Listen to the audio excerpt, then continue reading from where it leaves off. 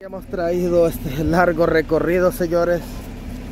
Miren, pues aquí se necesita un 4x4 porque vean allí.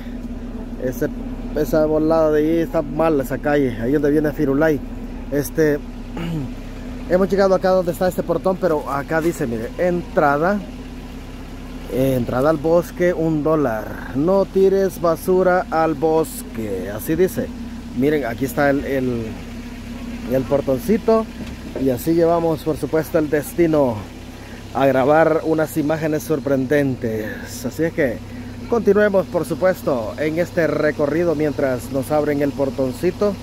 Préstenmelo miren señores les voy a mostrar este machete.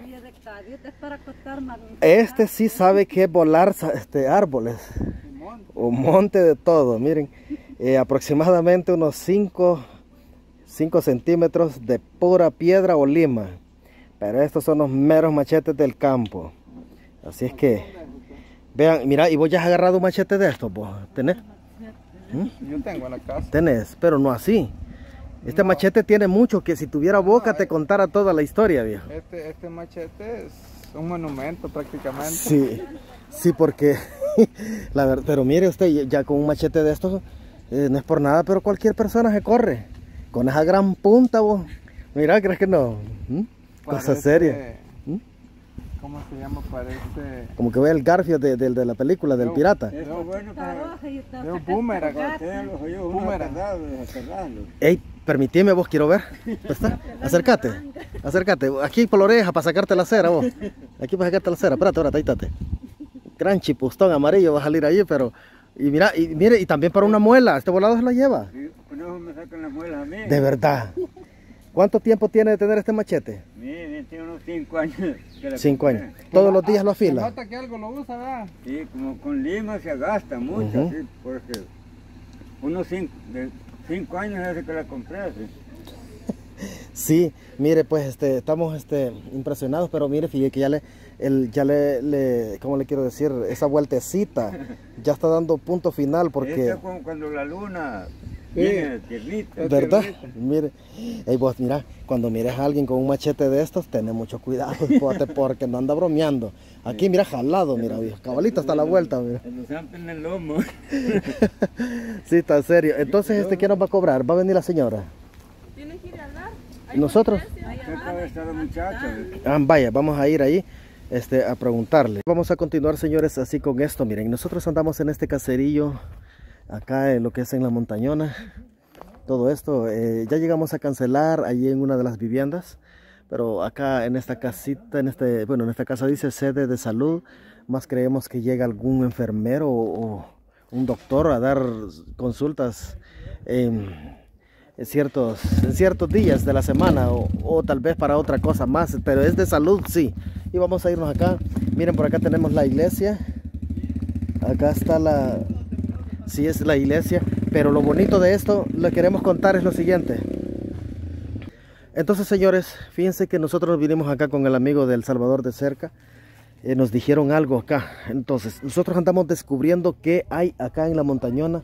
Pero mm, de tanto andar caminando, logramos encontrar esto. Miren, es una imagen interesante que le vamos a dejar. ¿Ven lo que está ahí colgado? Eso que ustedes ven que está colgado acá es una bomba. Una bomba que fue lanzada por un avión. Entonces no reventó, dicen acá los habitantes. Y ahora pues, si ustedes miran, está totalmente deformada. No tiene nada dentro. Le sacaron todo, todo, todo lo que está, lo que, lo que llevaba, ¿verdad? Pero es un material tan duro durísimo porque es bien doble. Entonces, pero entonces señores me estaban diciendo por acá que esto lo ocupan ahora como un campanario. Eh, lo, lo, hacen sonar cuando va a ser la misa porque ahí está la iglesia. Vean pues, esta es la iglesia. Entonces, este es el campanario que tienen de esta bomba. Escuche bien. Escuche. Excelente, señores. Más no se puede. Esta que fue un día eh, una bomba que la lanzaron, imagínense, ese ejército la tiró con esa gran intención, pero como Dios lleva las cosas, las tiene bajo control, no permitió que reventara, ¿verdad? Que explotara es la palabra. Entonces ahí está, señores, la bomba que queríamos mostrarles. No tiene nada por dentro porque se lo lograron sacar, pero gracias a Dios eh, ciertas personas nos dijeron algo de que, bueno, no quisieran salir en la cámara, pero dicen de que eso sucedió hace muchísimos años en los tiempos de la guerra. Fue una pesadilla grande que vivieron cuando esa bomba cayó. Y así vinieron especialistas y le sacaron toditito lo de adentro. No tiene nada allí, señores, solamente es un hierro con un gran espesor y lo ocupan como campanario, como les dije. Pero nosotros vamos a continuar el camino porque llevamos un destino algo largo todavía. Señores, miren, vamos siempre en el camino acá, de allá venimos y para allá vamos. Lógico, ¿verdad? Vaya, les voy a mostrar esto. Acá dice huellas de la guerra, pero ¿por qué dice eso? Usted se va a preguntar y va a decir, Mm, pero, ¿por qué? ¿Por qué huellas de la guerra? aquí hubo allí? Sí, señores.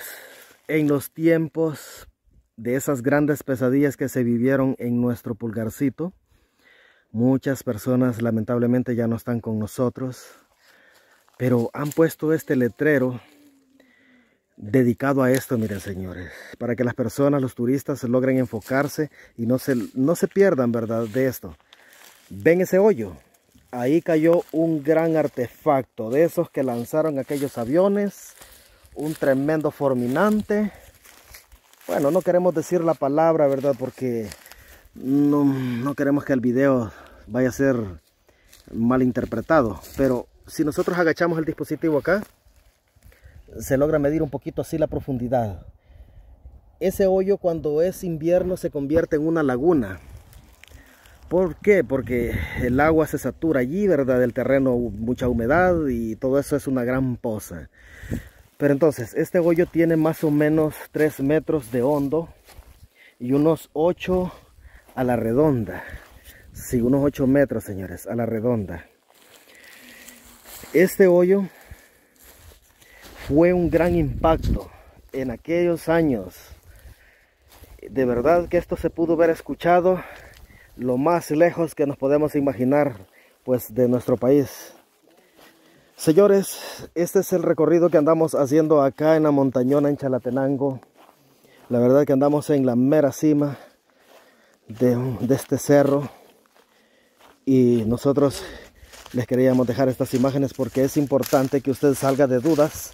Muchísimos turistas no conocen esta estas imágenes, no han visto esto, pero es importante que usted vea todos los detalles y si quiere salir de dudas, antes de entrar acá hay un pueblito donde muchas personas lo pueden asesorar, le pueden contar un poco la historia. Así está la cosa y nosotros continuamos por supuesto con esas imágenes sorprendentes de este fin de semana. Sí, así ha sido el camino Miren por acá les voy a mostrar el vehículo, aquí lo vamos a dejar porque... Sí, aquí esta parte pueden quedarse a, acampar, pero nosotros vamos a dejar el vehículo aquí porque ahí hay un gran árbol seco tirado por ahí. Ya, ya sería demasiado, ¿verdad? Tirarlos ahí con el vehículo, pero miren por acá tienen unos homenajes, los del FMLN. Aquí hay personas que para ellos son muy importantes. Acá dice en la parte de arriba, homenaje a los internacionales que regaron su sangre en estas tierras para cosechar paz y la democracia. Bueno, ahí están todos los países. Está el país de Nicaragua, Venezuela, Perú, peruano también más abajo, chileno y argentino en la parte más abajo. Y José Ángel Marchena dice, sí, Costa Rica. Y luego otro chileno y un vasco, alemán. Pues por eso ponen todas las banderas más abajo también de otras personas. Señores, así es los homenajes que hacen. Eh, han dejado eh, las personas que vivieron la guerra en estas montañas. Y por acá hay un letrero que dice las Suizas, El Salvador. Y podemos ver también que hay una cruz. Hay una placa, sí. Ah, sí, aquí está una placa. Vamos a ver, vamos a hacer un ladito este monte con permiso. Vamos a ver, no, bueno, no se logra ver bien, pero dice más o menos en recuerdo de Anita. Ajá. Anita Bárbara Urtasun Moes. Ajá, así dice, Moes. Y eh, del 28 de noviembre de 1954 al 13 de abril desde el 2012. Bueno, señores, así está la placa de la persona que falleció en esta parte.